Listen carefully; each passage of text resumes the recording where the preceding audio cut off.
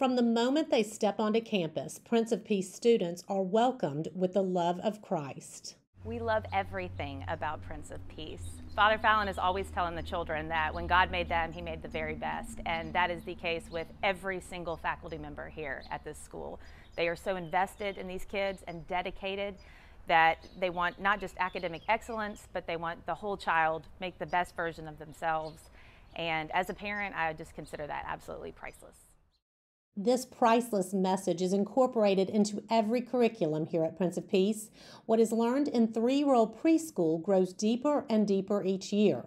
By the time our students graduate from eighth grade, they are not only friends, but family. This nationally recognized Blue Ribbon School offers a well rounded education to preschoolers all the way to eighth grade. We prepare the students for advanced placement in IB programs at private and public high schools. Prince of Peace students consistently score in the top 25% nationally on standardized tests.